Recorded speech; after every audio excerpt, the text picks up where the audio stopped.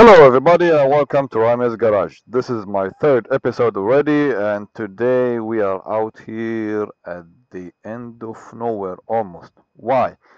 We are going to learn today about how to ride a motorcycle in the shortest time possible.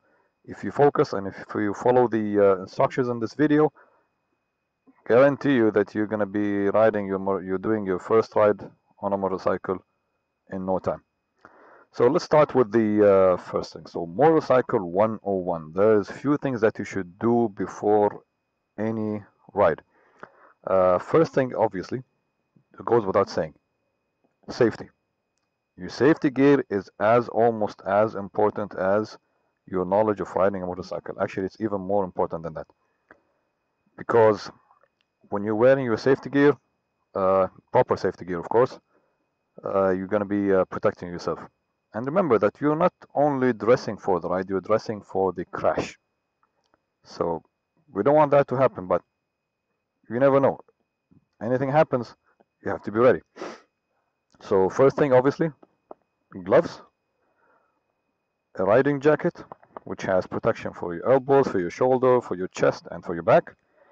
Um, knee protection, safety, uh, safety shoes, uh, and over here I did something extra. I got these which uh, uh, they will cover my shoes because my shoes were uh, kind of uh, getting uh, damaged when it's rubbing against the gear. So this is a good addition. You may need it, may you may not. It's depends on your bike. And ear earplugs as as well. Even if you're wearing a full full face helmet, I would recommend if you would put uh, some ear protection because wind noise when you're going above uh, speeds of 100 kilometers per hour, it's uh, it's pretty noisy and it's gonna affect your ear after a long time. So uh, we want to keep that uh, hearing uh, or hearing power for as long as we as we can through your riding career. So that's done about safety. And I hope that I didn't forget about uh, mentioning a helmet. So obviously a helmet. Let's start with the uh, with the basics of uh, motorcycle controls. Uh, over here I have a Yamaha MT7, nice bike as you can see. Uh, the controls on this bike are pretty much the same on uh, on any other bike. It might be a little bit different from one company to another, one brand to another. You might have different location of your button, but almostly or usually it's the same. So let's start this bike up. If you look over here, there's lock, off, and on. So what does it do is, if you want to park your bike outside and uh, you want some sort of security, you have to turn your uh, steering wheel all the way to the left, push it down, and put it on lock. And what this one does, it do, it locks your your steering wheel, so uh, it gives it some kind of uh, protection. Um, if you want to turn it on, you have to obviously uh, wiggle the motorcycle a little bit, but in contact, now it's on. Now the bike is ready to be to be on. We're not gonna do that yet. We're gonna go through the controls first, and then we're gonna start the the bike. So here, it's our uh, lighting button. Probably the bike has to be on. Okay, that's fine. So high beam, low beam, high beam, low beam. And this indicator over here is for your indicator lights. Switch it to the left. Your indicator light go from the left, right, I think it indicates right. Now, when, if you want to stop it, you have two options. You either have to turn it the other way, just half a click, or press on it inwards. Um, it's it's a nice feature. It depends, uh, whichever way you're you're comfortable with. Uh, this is the horn button, of course. Nice. Um, this is something that I have added. This is for my uh, for my grip warmers. May be there or may not be there on your bike. It depends. But this is an aftermarket uh, piece. Uh, up to increase the heat, down to uh, decrease it. increase and decrease. Uh, over here we have the uh, display unit, speed, kilometers, fuel, uh, fuel level, time, gear. So it has the the basic basic information. Different bikes, of course, it has different information on your display, but this one is pretty basic. And this is obviously, I mean, this is what you need. You don't need anything else. When you're riding, you want to focus on your road. You don't want to look at your uh, dashboard or whatever.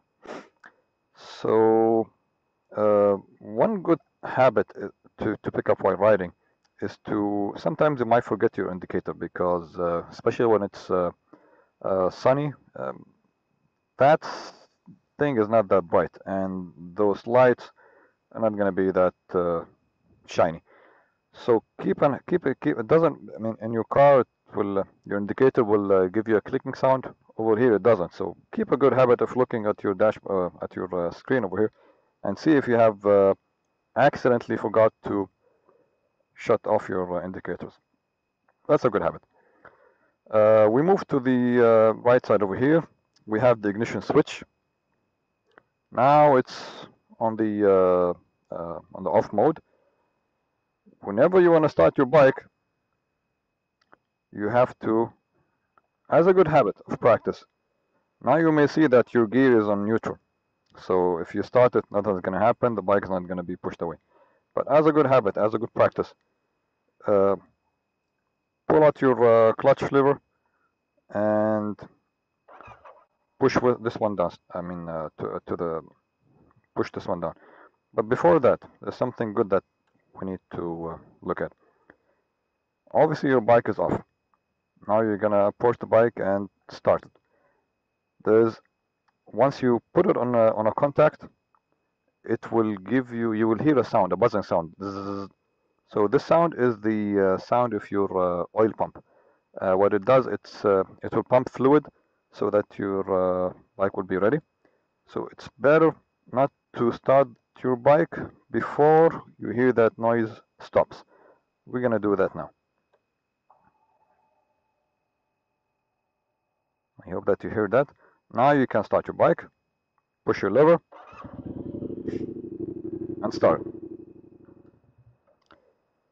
Um, the last button I have last button I have over here is the uh, hazard light or the uh, emergency uh, stop brake light if you uh, click on it I'll see I forgot my indicator. So anyway if you click on it it will uh, put on uh, your hazard lights. You, you would use that when you're uh, when you're on an emergency and then you have stopped somewhere you need uh, you want to uh, get somebody's attention that you need help or you want to let anybody behind you to move away and not don't hit you. So this is a good safety feature. Now we move downwards. Here we have the gear lever. The gear lever as we, as we mentioned earlier it's uh, now it's on neutral. So to engage it you have to pull down or pull down the uh, the clutch and give it one nice click or full click to the uh, to the bottom. You'll be in first gear and when you're shifting up you have to give it half a click to go to neutral or full click to go to second gear up. So one full click down half a click up to neutral. Again half another uh, another half click up is to second gear. Full click up third gear full click up fourth gear full click up fifth and sixth. So um, on the other side we have your rear brake. So I didn't talk about the front brake before because I wanted to show you them both together. Your rear brake is responsible for around 30% of your stopping power. Your front brake is responsible for the other 70% it's much stronger. So whenever you're stopping for on a signal depending on your speed if you're going on a high speed then you i recommend you or everybody who is more experienced than me would recommend you not to pull your Front brake. so hard all the way inwards Instead of that, what you should do is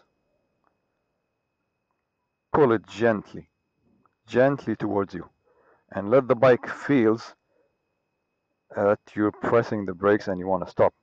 What it does, it will start shifting your your momentum or from going all the way to the front suddenly through gradually going with the speed, going down with the speed. So what you do, what you should do is again, pull the lever gently from the front brake and the rear brake together. Never push your brakes all the way hard unless you really, really, really have to. Uh, if your bike is not equipped with ABS, obviously it's gonna do a very long skid and you're gonna lose control on your bike and that's something which we don't know. As a new rider, always try to, not always try, you have to avoid being going fast and you have to avoid stopping directly or stopping immediately without any uh, obvious reason. So those two things you have to practice. Going, um, I mean, starting your bike, moving forward, and stopping your bike slowly. Those two things have to go gradually. Once you master those two techniques, then you're, I would say that you have did the uh, first uh, check mark in your, in your riding career. Uh, I think this is it, uh, basically. One more thing that I like to do before uh, before any ride is to uh, check my tire pressure. On a on a two-wheel motorcycle, you have less contact with the with the ground. Not like your car where you have two four four tires on I mean, on the ground and you will have a, obviously a large surface contact area. On a bike, you're mainly depending on on these two wheels, and the contact points are um, greatly less than a car. So your first uh, line of defense is your tires. If they don't have the right pressure, your ride is going to be wiggly and it's not going to be uh, it's not going to go smooth and probably is going to cause a crash. Uh, we don't want that to happen. Check your tire pressure around 29 uh, psi or up depends on each uh, motorcycle. Uh, always go for your uh, user manual um, and see what's what's recommended over there and always try to regulate that tire pressure. And then second of all is try to have a look at your uh, at your motorcycle over here and see if the tires are wearing uh, uh, wearing off so soon. Do they need to be changed? Um, that's a good habit. I, I like to do that personally before every ride. I think that's it. So uh, let's start our uh, riding lesson. Okay, so now you want to start riding your bike. First thing you do is you check your your uh, your tires. If the tire pressure is good, normal wear and tear on your uh, uh, tires. Check them if they're good. Second thing is your safety gear, your helmet, your gloves, your riding jacket, and of course it's not just your hoodie. It's it has to be a riding jacket which has the uh, proper uh, shoulder shoulder padding, knee padding, uh, chest and back padding your knee pads, your safety shoes, which has steel toe or a composite toe.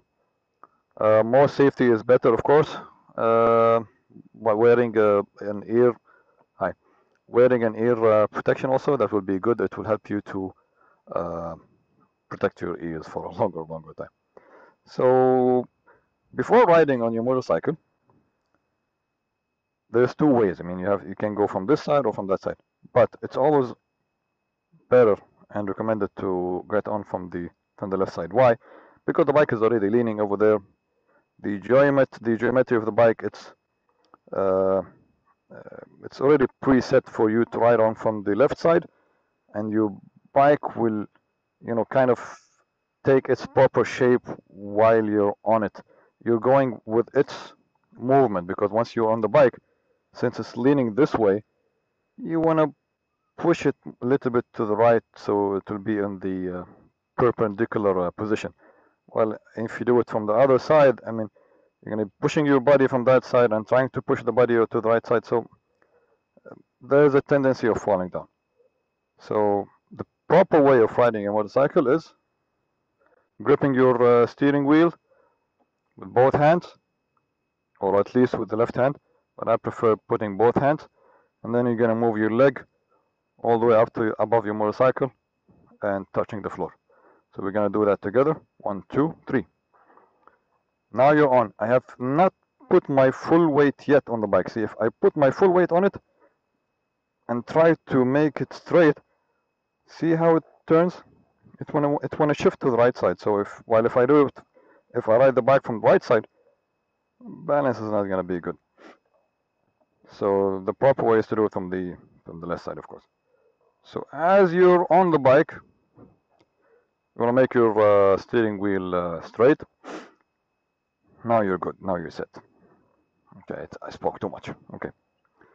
So first thing you want to do before starting your bike, as a good habit, is pull your clutch.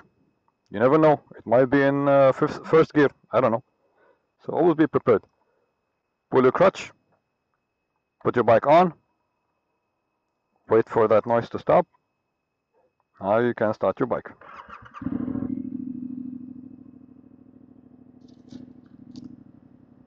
Alright. So what you want to do is go to a place where it's quiet, like over here, where I came to the end of a road. Nobody's here, obviously, and I have a good uh, maneuvering uh, distance. I'm not disturbing anybody. Um, if you have, if, if, if there's a, a, better place like this, like uh, probably uh, an empty parking lot on a weekend, that would be uh, that would be a good option. Okay, so now you're on your bike, and it's on. What you want to do is try to get a feeling of your bike. Try talking to it, and this is how your body will talk to it: is by getting by introducing your body to this new uh, new motorcycle. Uh, try to wiggle it right and right, uh, right and left, and see where is the uh, where is the center point of your bike. See what's your best seating position. Uh, put your ba- uh, put, of course put your back straight. Um, move your move your mirrors to see most of your behind actually. You don't want to, you don't want to have your shoulders blocking the mirror, so then you you won't have a proper view. No, you want to move your mirrors so that it will have some of the least of your shoulder view, and then the most of your of your uh, vehicles behind you. While you're standing up, of course, when when you're ducking. Uh, second thing is try to move it, try to move the bike uh, frontwards and backwards and keep your hand on the uh, on the brake. Just in case if the bike was going uh, like on an on a on an incline or an uneven uh, uh floor so that it doesn't move on you and cheat you. Okay. Try to move it a little bit up. I mean forward stop backward stop. And just uh, just to get a feeling of the uh, of the bike. Now you want to shift gears. You don't want to press the acceleration. Pulling the or rolling the uh, acceleration towards you that's giving gas. And you don't want to speed. When you're first learning you don't want to speed at all. You want to keep that idle all the way pushed to the to the front. You're not gonna roll it. You're gonna hold it, but you're not gonna roll it. Your left hand on the gear clutch, your right hand on the front brake, and your left or right leg on the. Uh, nice. This is the best position before starting uh, starting your ride. Left hand on the clutch, right hand on the uh, on the brakes, front brake, and your left leg on your uh, gear shifter. So you're gonna pull your clutch all the way to your, towards you and give it half a click downwards to engage the uh, to engage the first gear. Now as you see that we don't have the uh, neutral light anymore and it's on uh, first gear. If you leave your clutch suddenly or you leave it too fast what's going to happen is that your bike is going to move forward a little bit and it's going to shut down on you. We're going to show you how is that, how that's done. So one, two, three, we're going to leave the clutch. Bike is off. You don't want that to happen for you. So what you want to do is try the uh, try to find the uh, not try to find. You have to find the friction point and practice that. You don't want to press on the acceleration at all uh, when you're first riding. I mean, uh, this is your first ride. Acceleration is not your body. Clutch is your body. So we're going to repeat that again. Pull your clutch. Now you may see that the bike is in first gear. We're going to shift it to neutral. I don't like to start the bike when it's in uh, first gear. Nothing's going to happen if you're going to push pull the clutch, but as a safety feature now because you're a new rider. So clutch pulled, neutral, start the bike. Okay. Now you can uh, push down on your uh, gear shifter so that it's uh, on the uh, first gear is engaged. Okay, so now it's in first gear. What you will want to do is never press acceleration, but slowly leave the clutch lever to find the disengaging point. See? Bike is moving by itself. I'm not I'm not putting any acceleration. Bike is moving by itself. I'm gonna release it slowly, slowly, slowly, slowly, slowly, slowly.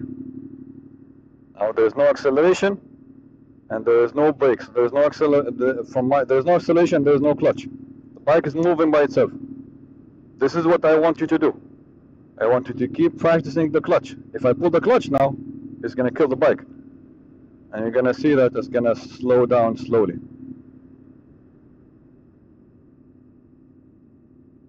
Until it stops.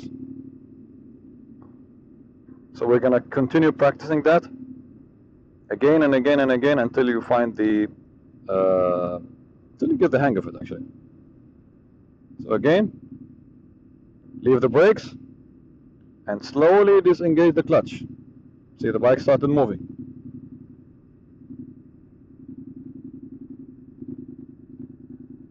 You can keep pressing it half a press, it's fine. But Start going back and forth, back and forth, back and forth to find that uh, friction point and loosen it. Find the friction point and lose it. That will give you uh, a better control of the bike. Because remember, you're only a good rider if you're able to control the bike on low speeds. High speeds, anybody can do that. Just pull the acceleration and the bike is going to go forward. God forgive you if you're not able to stop. Good techniques, good driving skills only happen at low speeds. Do it step by step, and absolutely you're going to be a good rider one day. So again, practice the clutch. Now it's fully pulled, brake is pulled, leave, loosen your grip on the uh, on the front brakes, and start losing your grip on the clutch. Slowly slowly okay. I want you to focus on my clutch. See I'm losing the grip. Bike is moving forward. Slowly slowly slowly. Can leave it now. See the bike is moving now. I don't even have to click uh, press the clutch. I only have to press the clutch if I want to stop. Because if I don't stop my if I don't if I don't press my clutches the bike is going to be dead I will show you how. So let's take a turn from here. Okay. Bike is moving. I'm not pressing. I'm not pressing on the uh, on the clutch. I'm just gonna press the brakes without pressing the clutch. Look, just pressing the brakes. It's gonna be dead. So when you're slowing down, click on your clutch. So again, press the clutch, first gear, let's try that, start the bike. You're good to go. Okay, folks? so uh, that's it from now. Keep practicing that. And you're gonna be my buddy one day. Hopefully I'm gonna visit you in my in your garage. You're gonna visit me in my garage. You show me your bike collection. I'll show you mine. And we will uh, have a good ride together. Until that day, stay tuned, folks.